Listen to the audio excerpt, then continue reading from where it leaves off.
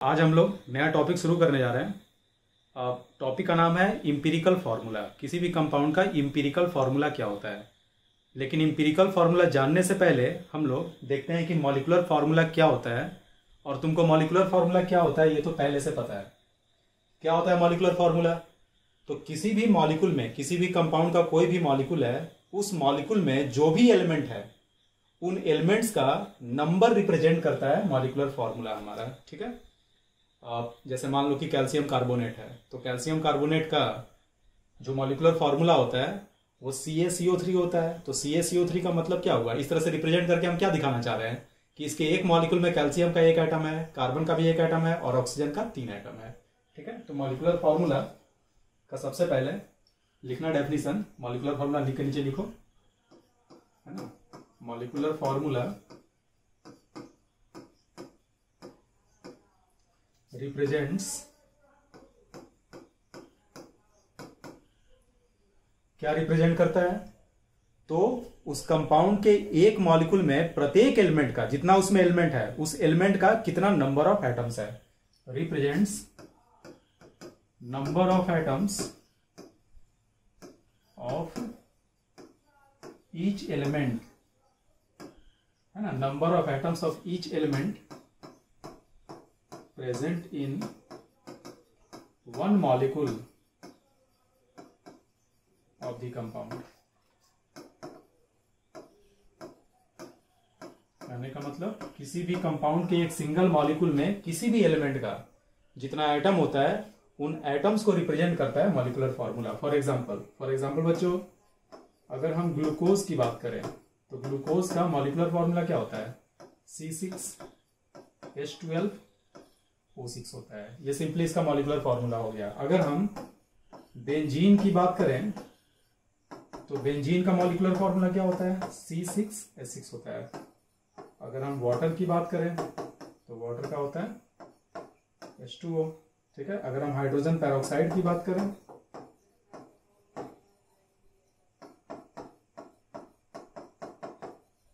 तो इसका क्या होता है? एच टू ओ टू होता है। ठीक है तो ये तो हम लोग को पहले से पता था। अब सवाल उठता है कि इंपेरिकल फार्मूला क्या होता है? तो देखो इंपेरिकल फार्मूला क्या होता है? इंपेरिकल फार्मूला मॉलिकुलर फार्मूला की तरह ही होता है। लेकिन ये एटम्स का जो नंबर देख रहे हो ना, उन नंबर्स का सिंपलेस्ट रेशियो होता है। जैसे कार्बन हाइड्रोजन ऑक्सीजन यहाँ पे कितना है? छह, बारह और छह। तो देखो तो यहाँ से कोई नंबर कॉमन हो रहा है क्या? छह कॉमन हो रहा है तो छह को बाहर निकाल दो। अगर तुम यहाँ से छह को बाहर निकालोगे तो बचेगा क्या? यहाँ से अगर छह को हम बाहर निकाल दे तो बचेगा। सी एच टू ओ तो यही हमारा ग्लूकोज का इंपेरिकल फॉर्मूला हुआ। कहने का मतलब इंपेरिकल फॉर्मूला किसी भी मॉलिक्यूल में मौजूद एलिमेंट्स के संख्या का सिंपलेस्ट होल नंबर रेशियो होता है। सिंपलेस्ट का मतलब सबसे छोटा होल नंबर होना चाहिए फ्रैक्शन में नहीं आना चाहिए, ठीक है? तो इसको अभी हम लिखवाएँगे ये पूरा पहले नोट करो, इसको नोट नहीं करना, है ना? ये बस समझाने के लिए बताया है। मॉलिकुलर फॉर्मूला का पार्ट जो है, वो पूरा आप नोट करिए।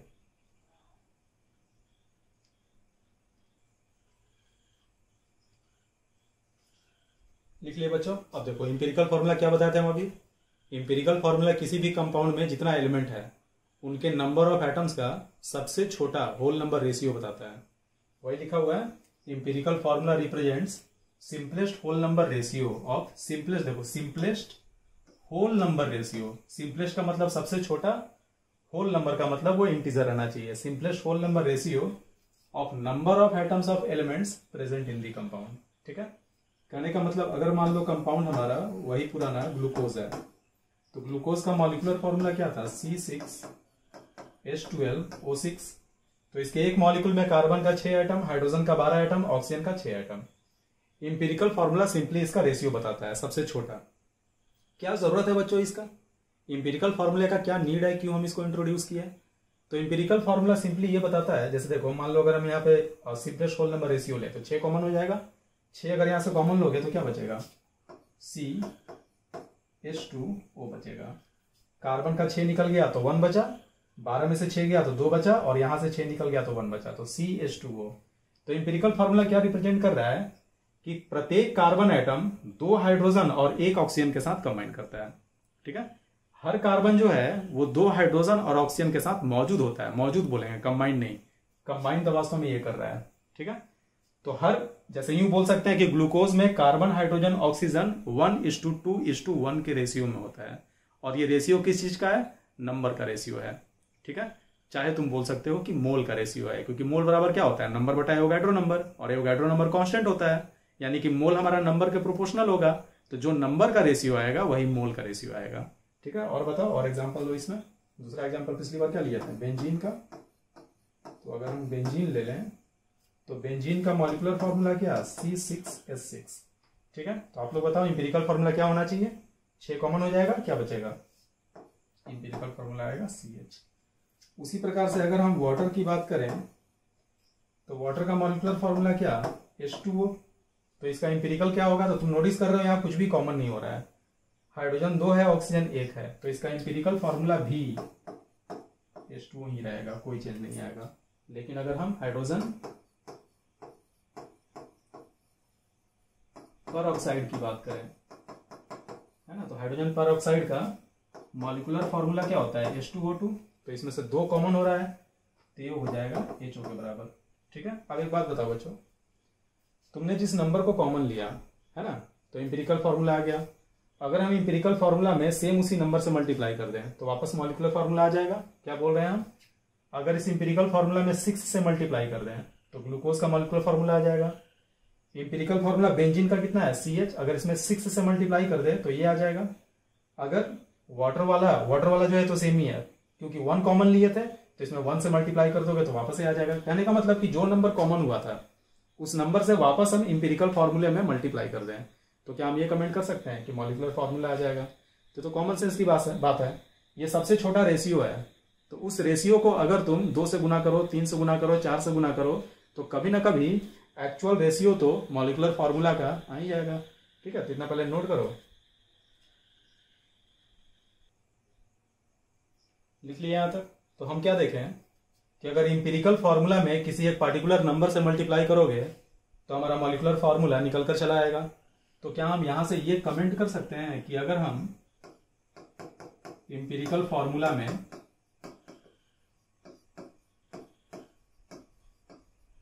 मल्टीप्लाई कर दें, एक इंटीजर एन से।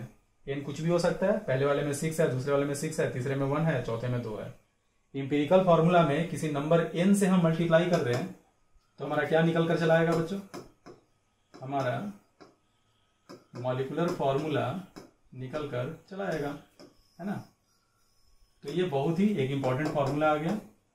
न्यूमेरिकल में अगर तुम इंपेरिकल फॉर्मूला निकाल लेते हो और किसी तरीके से एन निकाल लेते हो तो तुम मल्टीप्लाई करके मॉलिकुलर फॉर्मूला आ जाएगा। एन का वैल्यू इसमें सिक्स होगा। जो चेक करके देखो। सी एस टू में सिक्स से मल्टीप्लाई करोगे, वापस मॉलिकुलर फॉर्मूला आ जाएगा। ठीक है? तो अब एन को निकालने का तरीका क्या है? तो एक चीज़ देखो। एक बात बताओ। जब तुम मॉलिकुलर फॉर्मूला में से छह, यहाँ से छह कॉमन किए तो इंपेरिकल आ गया। तो छह अगर कॉमन लिए हो तो हर एटम जो है छह गुना से घट गया। अगर हर एटम छह गुना से घट गया तो हर एलिमेंट का जो मास है, जो भी एलिमेंट है उसका जो टोटल मास था, पहले छह कार्बन का मास था, लेकिन अब यहाँ पे एक ही कार्बन का मास है। पहले बारह हाइड्रोजन का मास था, अब यहाँ दो ही हाइड्रोजन का मास है। पहले छह ऑक्सीजन का मास था, अब यहाँ एक ही ऑक्सीजन का मास है। तो क्या हम ये कमेंट कर सकते हैं कि प्रत्येक एलिमेंट का जो मास पहले एक मॉलिक्यूल में मौजूद था, उसका ठीक छठा हिस्सा इसमें मौजूद होगा, क्योंकि प्रत्येक एलिमेंट छह गुना से घट गया है। तो टोटल जो मास है, वो भी छह गुना से घट जाएगा। ठीक है चेक करके देख लो। C six H twelve O six इसका मॉलिकुलर वेट निकालो तो सिक्स इंटू बारह, बहत्तर हो गया। और यहाँ से सिक्सटीन इंटू सिक्स तो आ जाएगा नाइनटी सिक्स और हाइड्रोजन का बारह। जब तीनों को ऐड करोगे तो आ जाएगा वन एटी ग्लूकोज का मॉलिकुलर वेट होता है वन एटी इसका निकालो। कार्बन बारह ऑक्सीजन सोलह। सोलह बारह अट्ठाईस और दो। थर्टी हो गया तो क्या नोटिस कर रहे हो? ये आया वन एटी और ये आया थर्टी तो अगर तुम वन एटी को थर्टी से डिवाइड कर दो तो सिक्स आ रहा है। क्या इतफाक है? तो बिल्कुल इतफाक नहीं है कॉमन सेंस की बात है। है ना? जब तुम इसको छह गुना से, जब तुम यहाँ से छह कॉमन लिए तो एटम छह गुना से घटा, प्रत्येक एलिमेंट का एटम छह गुना से घटा तो टोटल मास जो है वो भी छह गुना से घटेगा। तो अगर ये वन एटी आ रहा था तो थर्टी आ रहा है। वाटर में देखो वन हुआ था कॉमन तो ये भी अठारह है, ये भी अठारह है। इसको देखो, सोलह गुना दो, बत्तीस बत्तीस दो, चौंतीस। और ये कितना है? सोलह, एक, सत्रह। चौंतीस, सत्रह। कितने गुना का डिफरेंस है? दो गुना का? बिल्कुल सही है, क्योंकि यहाँ पे दो कॉमन हुआ था। तो क्या हम ये कमेंट कर सकते हैं कि अगर हमें एन निकालना है अगर हमें एन निकालना है तो हम मॉलिक्यूल के वेट को इंपेरिकल वेट से डिवाइड कर देंगे। इंपेरिकल फॉर्मूला से जो वेट निकल कर आएगा, वो इंपेरिकल वेट होगा। जो मॉलिकुलर फॉर्मूला से वेट निकल कर आता है, वो हमारा मॉलिकुलर वेट होता है।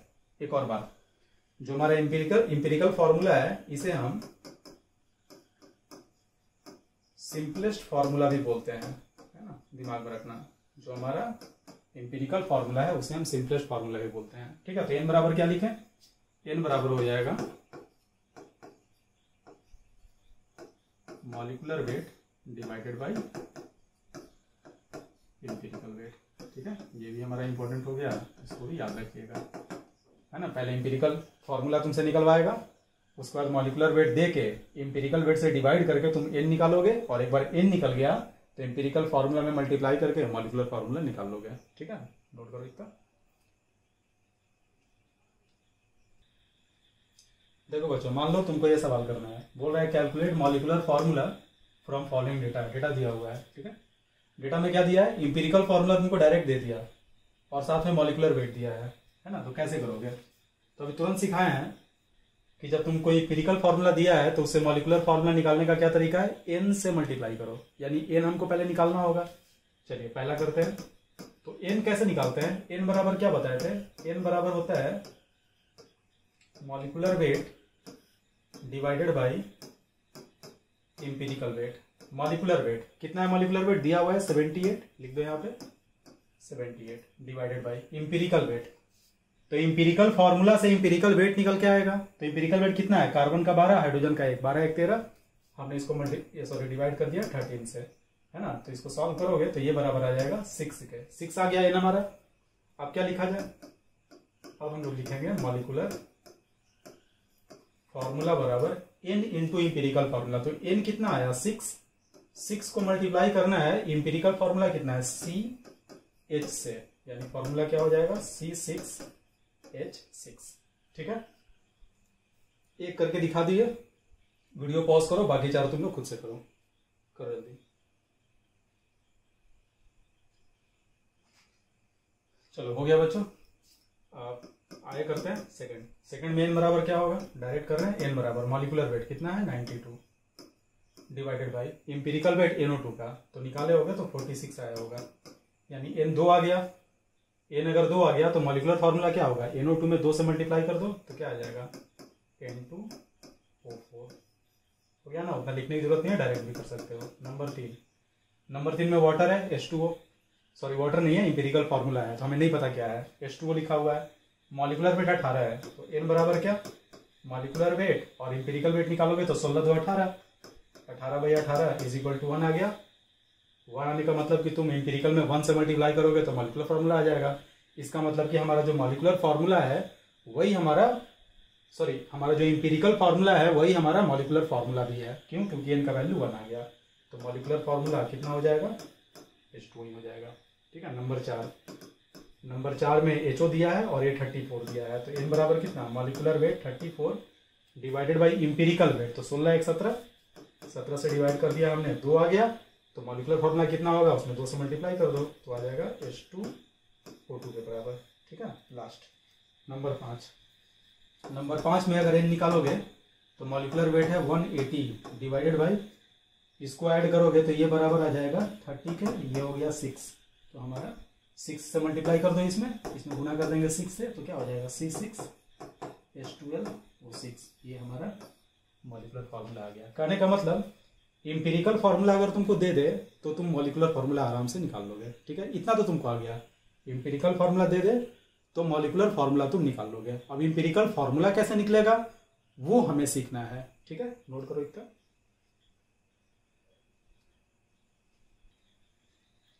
देखो बच्चों इंपेरिकल फार्मूला आप कैसे निकालेंगे? तो क्वेश्चंस में तुमको जनरली परसेंटेज दिया रहता है। क्वेश्चन में जो भी कंपाउंड है, उसमें जो भी एलिमेंट है, उनका परसेंटेज दिया रहता है। यही रीजन है कि हम लोग इम्पेरिकल के जस्ट पहले परसेंटेज बाई मास निकालना सीखे थे। ठीक है? तो हम लोग इम्पेरिकल निकालना सीखेंगे। पहले एक सवाल लेते हैं और उसके सहारे तुमको हम समझाने का प्रयत्न करते हैं। ठीक है? तो एक सवाल लिखो तो। सबको लिखना साथ में। ये compound contains sixty percent carbon, thirty two percent oxygen and आठ प्रतिशत हाइड्रोजन बाई मास नहीं भी दिया रहेगा तो बाई मास ही लेके बताए थे हम कि किसी भी कंपाउंड में उसके एलिमेंट का हमेशा बाई मास देता है। ठीक है? तो बोल रहे हैं डिटरमाइन इंपेरिकल फॉर्मूला चाहे सिंपलेस्ट फॉर्मूला बोल सकता है empirical formula of the compound ठीक है बच्चों? ये तुमको मान लो कि सवाल दे दिया। ठीक है?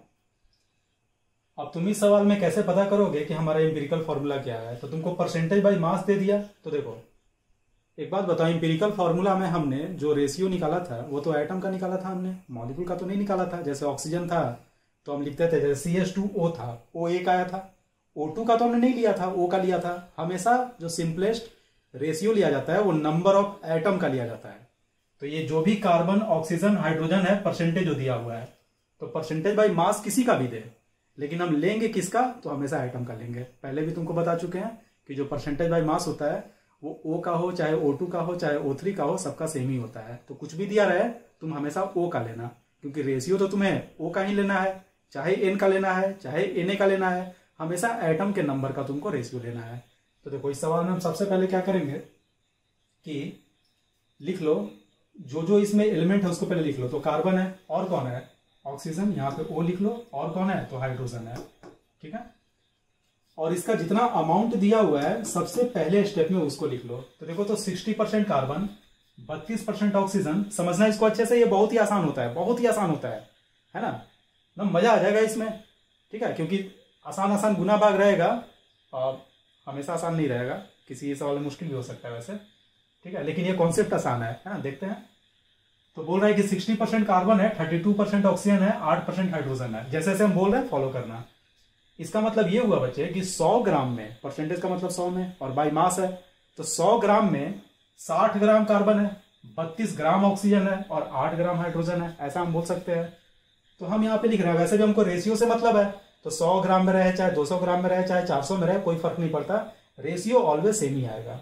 ठीक है तो कार्बन कितना आया? कार्बन आया 60 ग्राम। ऑक्सीजन कितना आया?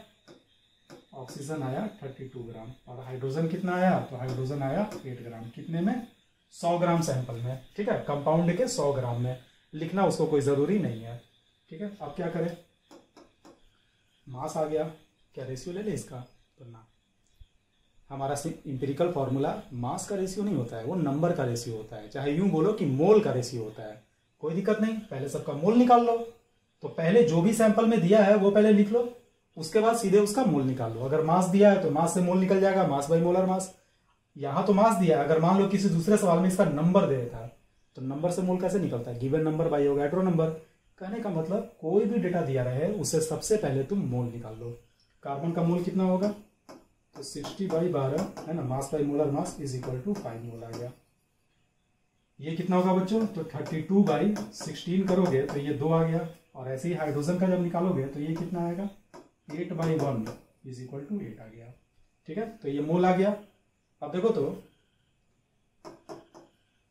मोल आ गया हमारा फाइव आ गया टू आ गया एट आ गया। क्या? सिंपलेस्ट होल नंबर रेशियो आ गया? क्या यहाँ कुछ कॉमन हो सकता है? तो तुम नोटिस कर रहे हो कि पाँच भी इंटीजर है। दो भी इंटीजर है फ्रैक्शन नहीं है। बहुत ही सिंपल सवाल दिए थे। हो सकता है कि फ्रैक्शन रहे, लेकिन इस सवाल में फ्रैक्शन नहीं है। ये फाइव आया, ये टू आया, ये एट आया, है ना? हम देख रहे हैं कि तीनों का तीनों होल नंबर है, और साथ में इसमें से कुछ भी कॉमन नहीं हो रहा है। यानी कि ऑलरेडी ये सिंपलेस्ट है। तो यही हमारा इंपेरिकल फॉर्मूला हो जाएगा। ठीक है क्या लिखेंगे? इंपेरिकल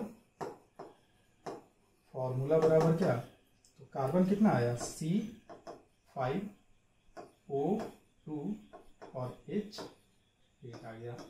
ठीक है, ये हमारा, यही हमारा आंसर हो गया।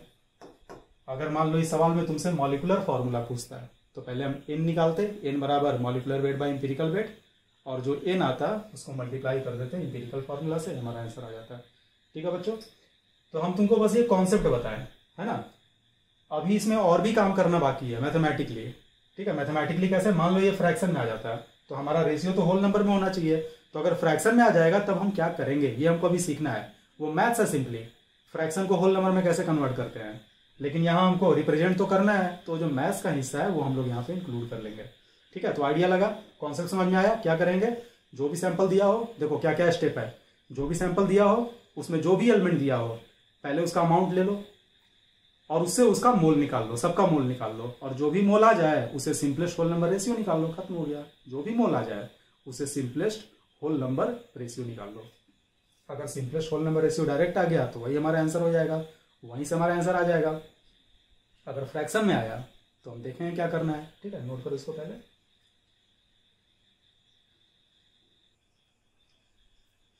चलो, अगला हेडिंग दो बच्चों। अभी जो हम सीखे, उसी को हम लोग स्टेप्स में लिख देंगे। Steps to determine empirical formula है ना? इंपेरिकल फॉर्मूला निकालने का स्टेप क्या है? तो पहला स्टेप क्या था? पहला स्टेप अभी तुरंत हमने क्या देखा? कि क्वेश्चन में कुछ भी दिया रहो, दिया रहे, कुछ भी करो, कोई भी चालाकी करो, कुछ भी दिमाग लगाओ, लेकिन सारे कंपोनेंट का तुम मोल निकाल लो, है ना? एनी हाउ तुम उनका मोल निकाल लो। तो पहला पॉइंट क्या लिखे? First calculate number of moles of each element प्रत्येक एलिमेंट जितना एलिमेंट है first calculate number of moles of each element present in same sample of the compound.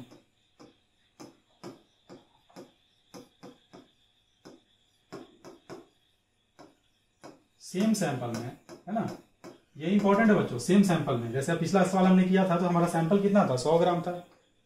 Same sample इसलिए इंपॉर्टेंट है, अगर तुमसे कोई बोले कि वाटर में हाइड्रोजन से ऑक्सीजन का रेशियो बताओ तो तुम क्या करोगे? एक गिलास पानी में हाइड्रोजन निकाल दोगे।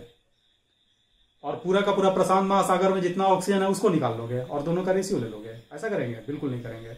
अगर तुमसे पूछा जाए कि किसी भी कोचिंग में, है ना बॉयज़ से किसी पार्टिकुलर बैच में बॉयज़ से गर्ल्स का रेशियो बताओ। कि इंजीनियरिंग में, चाहे मेडिकल में, है ना ऑन एन एवरेज प्रत्येक बैच में कितना बॉयज़ होता है, कितना गर्ल्स होता है। हम रेशियो पता करना चाह रहे हैं प्रिपरेशन का। तो तुम क्या करोगे? कोई छोटा बैच है, उसमें ले लोगे बॉयज़ का संख्या। और कोई बहुत बड़ा बैच है, उसमें ले लोगे गर्ल्स का संख्या। अलग अलग बैच में तो ना, गलत सैंपल आ जाएगा। अगर तुमको रेशियो निकालना है तो तुमको बैच सेम रखना होगा। उसी प्रकार से अगर तुमको रेशियो निकालना है, तुम्हारा सैंपल सेम होना चाहिए। ऐसा नहीं कि सौ ग्राम सैंपल लेके कार्बन निकाल लिए, और कोई दूसरा सैंपल ले लिए एक हज़ार ग्राम, और उसमें हाइड्रोजन निकाल लिए, और फिर बोल रहे हैं कि कार्बन इतना है हाइड्रोजन इतना है। गलत। कार्बन और हाइड्रोजन दोनों एक ही सैंपल में निकलेगा, तब जाकर हमारा सही डेटा आएगा। ठीक है? तो हम क्या बोले? सेम सैंपल में जितना कंपोनेंट है, सबका पहले मोल निकाल लो। मोल निकल गया। और दूसरा स्टेप में हमारा ये पूरा का पूरा खत्म हो जाता है। दूसरा ही स्टेप में दूसरा लाइन जो हम लिखेंगे, वहीं पे ये थियरी खत्म हो जाता है। क्या थियरी है? देखो। After this after this determine simplest है ना? गड़बड़ हो गया थोड़ा after this determine simplest whole number ratio of moles calculated in step one है ना? स्टेप वन में आपने जो भी मोल निकाला, उन मोल का सिंपलेस्ट होल नंबर रेशियो ले लो, काम खत्म हो गया। ठीक है? थियोरेटिकली काम खत्म हो गया। कॉन्सेप्ट यहाँ खत्म हो गया। लेकिन तुम बोलोगे सिंपलेस्ट होल नंबर रेशियो लेना इतना आसान है क्या? अगर फ्रैक्शन में आ गया, तब कैसे हम लेंगे? ठीक है? तो इसी का सब पॉइंट होता है। सेकंड का सब पॉइंट सेकंड का हम ए लिख रहे हैं। सिंपलेस्ट होल नंबर रेशियो अगर आ गया डायरेक्ट तब तो कोई दिक्कत ही नहीं है। तुम तो वही आंसर कर दोगे बच्चों। अगर मान लो कि होल नंबर रेशियो नहीं आया तो समझना ध्यान से, ये पूरा का पूरा मैथ्स है, कैसे हम उसको कन्वर्ट करते हैं सिंपलेस्ट होल नंबर रेशियो में। तो एक बात बताओ। हमारा सबसे छोटा होल नंबर कौन सा है? हमारा सबसे छोटा होल नंबर वन है। तो जितना भी तुम्हारा मोल निकल के आया, मान लो, हम यहाँ साइड में लिख रहे हैं, मान लो कि तुम जब यहाँ मोल निकाले तो सपोज़ करो कार्बन है हाइड्रोजन है और ऑक्सीजन है। कार्बन का मान लो 2.1 आ गया हाइड्रोजन का 4.4 आ गया ठीक है? और हमारा ऑक्सीजन जो है, वो हमारा सपोज़ करो कि, है ना 8.9 आ गया, ऐसा हो गया। तो तुमसे बोल रहा है कि अब सिंपलेस्ट होल नंबर रेशियो बताइए। फ्रैक्शन में लेकिन आ गया हमारा। पहला स्टेप से हम मोल निकाले और ये दशमलव में आ गया। तो अब क्या करेंगे? तो एक बात बता सिंपलेस्ट होल नंबर रेशियो सबसे छोटा होल नंबर क्या होता है? सबसे छोटा होल नंबर वन होता है। अगर सबसे छोटा होल नंबर वन होता है तो इन तीनों में से वन अगर होगा, हम ये नहीं बोल रहे हैं कि होगा ही लेकिन अगर होगा तो कौन होगा? तो तुम बोलोगे कार्बन होगा। तुम बोलोगे ये दोनों वन क्यों नहीं हो सकता है? तो अगर हाइड्रोजन वन हुआ तो देखो हाइड्रोजन की तुलना में कार्बन कम है। तो अगर हाइड्रोजन वन हुआ तो कार्बन को वन से छोटा होना होगा। अगर रेशियो निकालते वक्त हाइड्रोजन वन आ गया तो कार्बन वन से छोटा आएगा। और वन से छोटा कोई होल नंबर पॉसिबल ही नहीं है। कहने का मतलब हाइड्रोजन कभी भी वन नहीं हो सकता। अगर वन कभी होगा तो जो सबसे छोटा है वही होगा। यानी कि कार्बन वन होगा। और अगर कार्बन नहीं होगा तो कोई नहीं होगा तो हम करेंगे क्या? कार्बन को सबसे पहले वन बना दो। सिंपलेस्ट होल नंबर रेशियो जब निकाल रहे हो और फ्रैक्शन में आ जाए दशमलव में आ जाए तो सबसे पहले जो सबसे छोटा है उसको वन बना दो। तो सबसे छोटा को वन बनाने का क्या तरीका है? इसको इसी से डिवाइड कर दो। कहने का मतलब 2.1 को डिवाइड कर दो 2.1 से। लेकिन तुम बोलोगे कि जब भी हम रेशियो निकालते हैं तो रेशियो को मेंटेन रखने के लिए जिस नंबर से मल्टीप्लाई करोगे, सब में मल्टीप्लाई होगा, और जिससे डिवाइड करोगे, सब में डिवाइड होगा। तो अगर पहले वाले में 2.1 से डिवाइड किए हो तो सब में तुमको 2.1 से डिवाइड करना होगा। तो अगर यहाँ 2.1 से डिवाइड हुआ तो 4.4 में भी 2.1 से डिवाइड होगा। 8.9 में भी 2.1 से डिवाइड होगा। क्या सीखे सबसे पहले मोल निकाल दो। मोल निकालने के बाद जो रिज़ल्ट आया, अगर वो फ्रैक्शन में है, अगर वो फ्रैक्शन में है तो सबसे छोटे वाले से सबको डिवाइड कर दो। ये निचोड़ आया। क्या हम बोले? सबसे छोटे वाले से सबको डिवाइड कर दो। ऐसा क्यों कर रहे हैं? ताकि हमारा सबसे छोटा वाला जो है, वो वन बन के आ जाए। ठीक है बच्चों? और ये भी कुछ कैलकुलेट होके आएगा, ये भी कुछ कैलकुलेट होके आएगा। अगर होल नंबर आ गया तो तुम्हारा आंसर आ गया।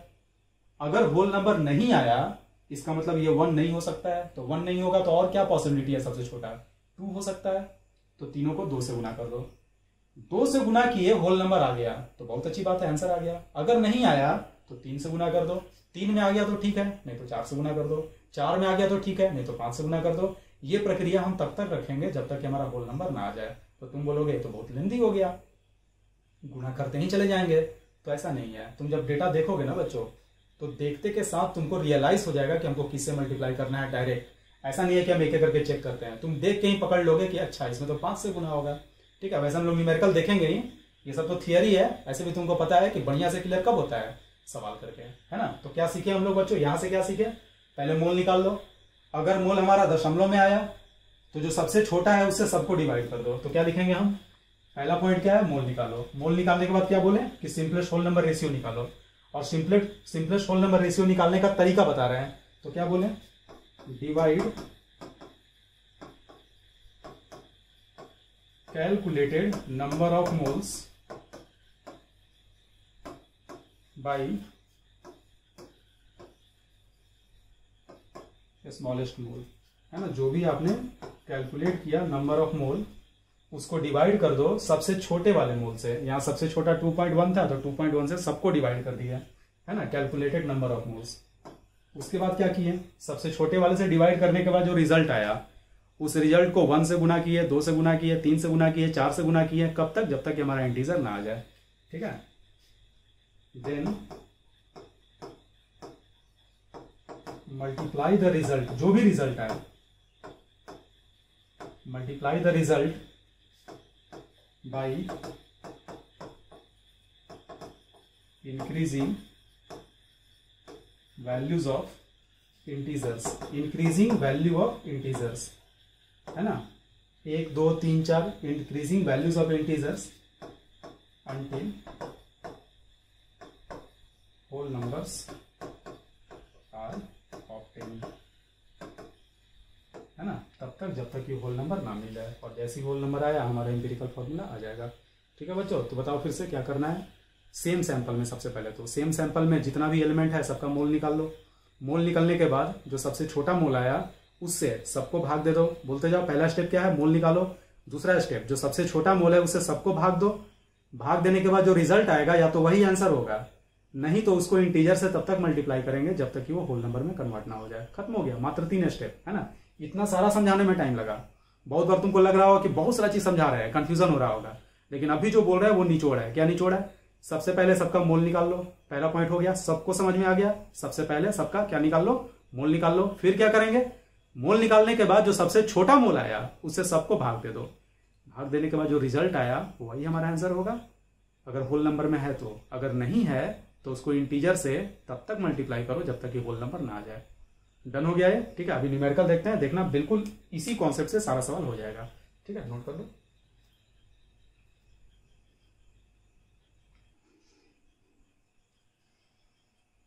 देखो बच्चों, ये सवाल करते हैं, बिल्कुल एग्जैक्ट प्रोसेस को फॉलो करते हुए। है इंपेरिकल फॉर्मूला एक कंपाउंड का बताइए, जिसमें 26.6 परसेंट पोटेशियम है। तो क्या बोले थे? सबसे पहले इस तरीके से लिख दो। बिल्कुल ऐसे लिखना, अलग तरीके से मत लिखना। जो जो है उसको लिख दो के फिर क्रोमियम क्रोमियम का क्या होता है? सी आर और ऑक्सीजन हो गया ओ तीनों का परसेंटेज दिया है।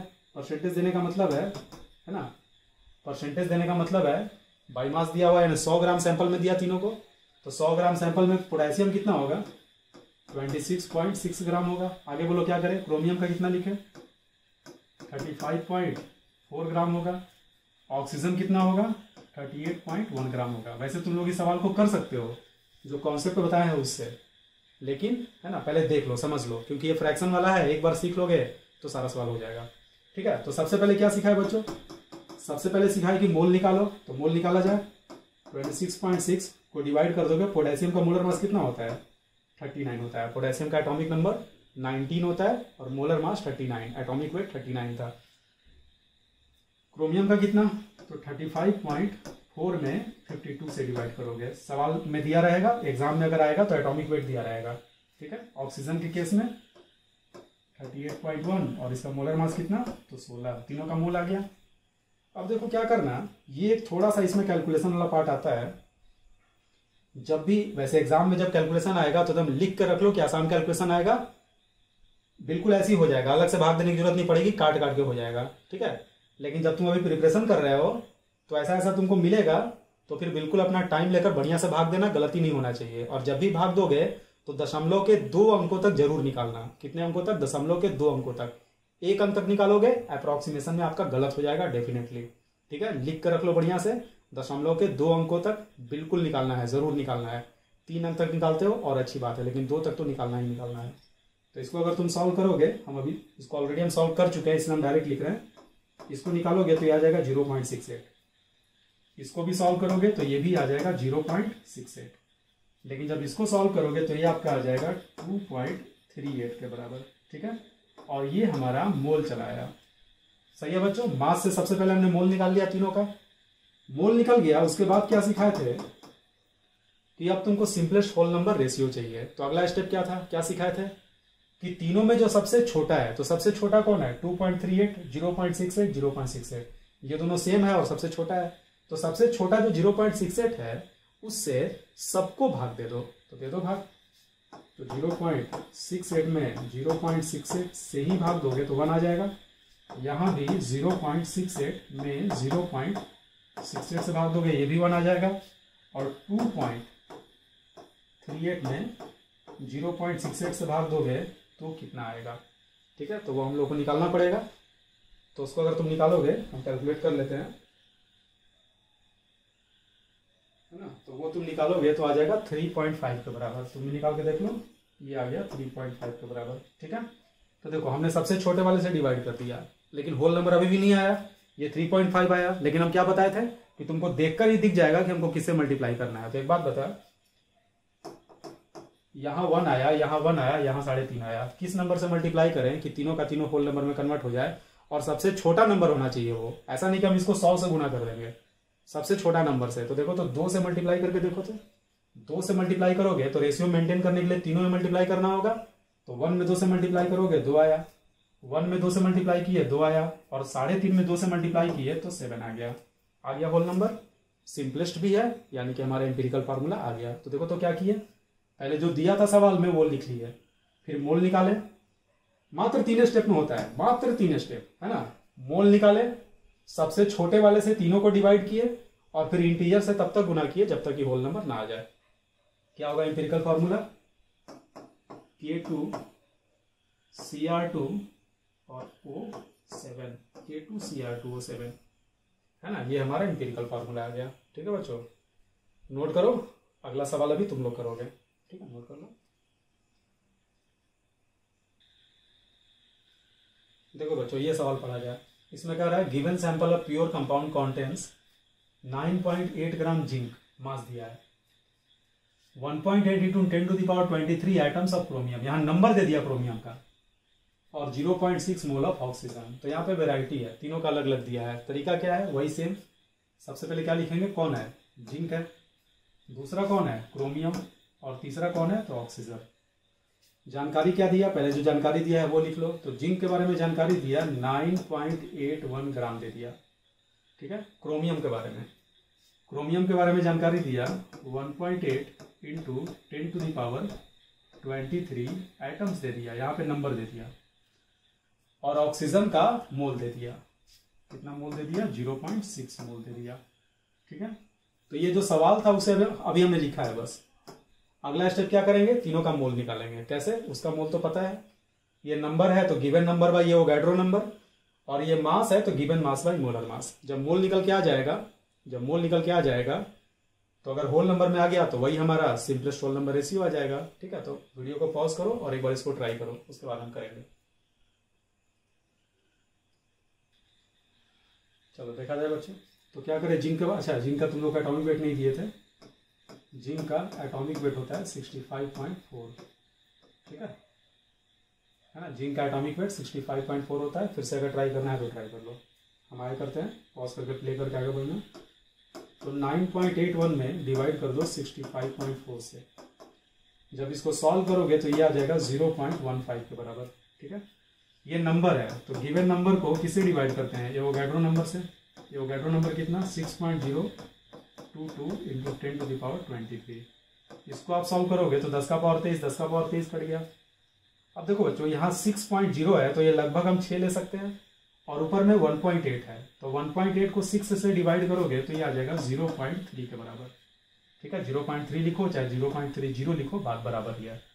ठीक है, ये कितना आ गया? ये हो गया ज़ीरो पॉइंट सिक्स मोल ही रहा, क्योंकि ये तो मोल है ही और ये भी मोल आ गया। अगला स्टेप क्या है? तीनों में जब सबसे छोटा हो। तो इसमें बच्चा क्या गलती करता है? उसको लगता है कि ज़ीरो पॉइंट सिक्स सबसे छोटा है तो ना। ज़ीरो पॉइंट सिक्स जो है उसको तुम ज़ीरो पॉइंट सिक्स लिखो, चाहे ज़ीरो पॉइंट सिक्स ज़ीरो लिखो, कोई फ़र्क नहीं पड़ता। दशमलव के बाद सबसे पहला अंक को कंपेयर करो। फिर दूसरे को करो, फिर तीसरे को करो। जहाँ पे डिफरेंस दिख जाए, उससे हमें बड़ा छोटा पता चलता है। ठीक है तो सबसे छोटा इन तीनों में ये है ज़ीरो पॉइंट वन फाइव क्योंकि दशमलव के बाद यहाँ वन है, यहाँ दशमलव के बाद तीन है, यहाँ दशमलव के बाद छह है। तो सबसे छोटा कौन होगा? दशमलव एक पाँच तो हम क्या बोले थे? सबसे छोटे वाले से तीनों को डिवाइड कर दो। कर दो डिवाइड कितना आएगा? Zero point one five divided by zero point one five यानी कितना आ गया? वन यहाँ भी डिवाइड करो तो zero point three zero by zero point one five ये कितना आ गया? दो के बराबर और यहाँ डिवाइड करोगे zero point six by zero तो दो अंक दशमलव के दो अंक तक है यहाँ नीचे, इसको भी सिक्सटी कर दो, कोई दिक्कत नहीं है तो ये आ जाएगा चार के बराबर। बस खत्म हो गया। जेड एन वन क्रोमियम कितना आया? क्रोमियम दो आया और ऑक्सीजन चार आया। ये इसका इम्पेरिकल फॉर्मूला हो गया। डायरेक्ट हमारा डिवाइड करते ही होल नंबर में आ गया। ठीक है? नोट कर लो।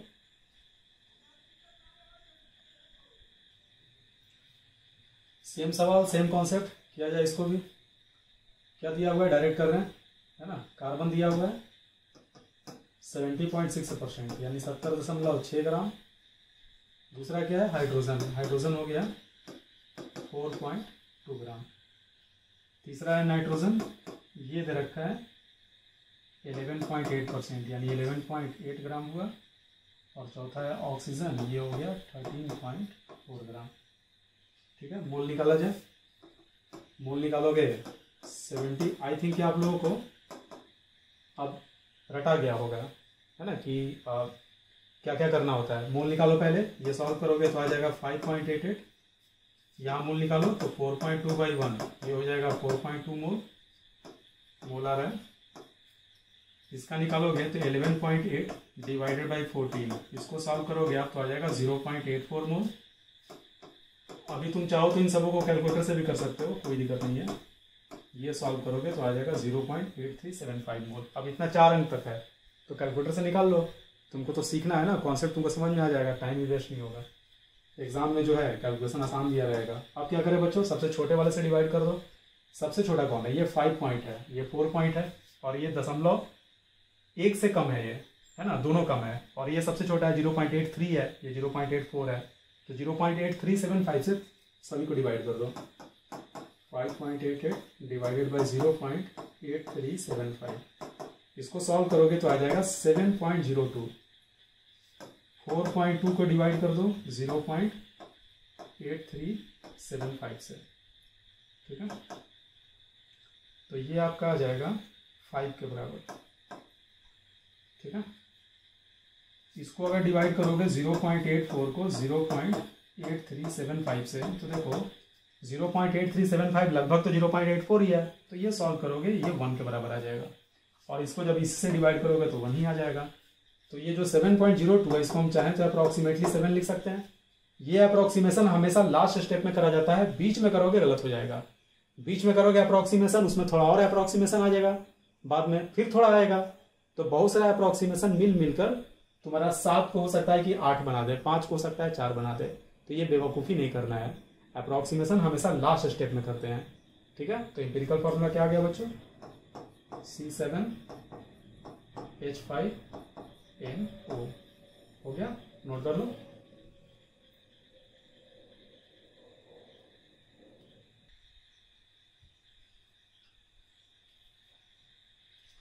देखो बच्चों, ये सवाल देखते हैं। थोड़ा सा चेंज है इसमें। क्या चेंज है? इस सवाल में इंपेरिकल नहीं, बल्कि तुमसे मॉलिकुलर फॉर्मूला पूछ रहा है। और इंपेरिकल नहीं देकर तुम्हें, है ना डेटा दिया हुआ है, जो डेटा भी हम लोग जिसपे हम लोग इंपेरिकल फार्मूला निकालते हैं। तो पहले इंपेरिकल फार्मूला निकाल लोगे, और उसके बाद मॉलिकुलर फार्मूला निकालोगे। तो क्या करें?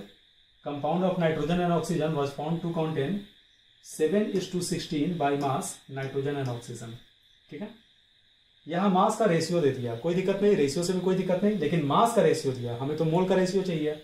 सारा का सारा वही काम करो, लिख दो, नाइट्रोजन, ऑक्सीजन। मास कितना है? ये हो गया सेवन ग्राम और ये हो गया सिक्सटीन ग्राम। दिया हुआ है सेवन इज़ टू सिक्सटीन तो सेवन ग्राम और सिक्सटीन ग्राम।